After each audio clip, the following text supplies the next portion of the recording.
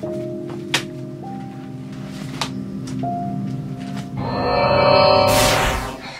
What's up? But it can't be. You're, you're, I'm from the future. What? How? Time travel, obviously. How is that possible? See, that program you're working on, 10 years from now, that will help you invent time travel. The STM code. That's the final part of the equation. Try it out.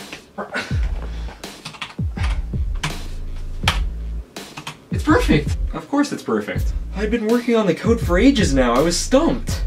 So, what's it like in the future? The Raiders somehow won the Super Bowl. There was World War III.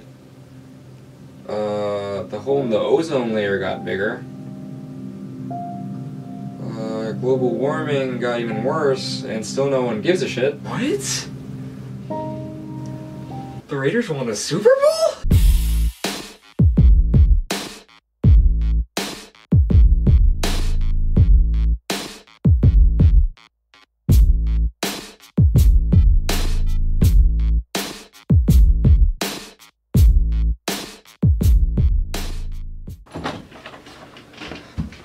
Guys!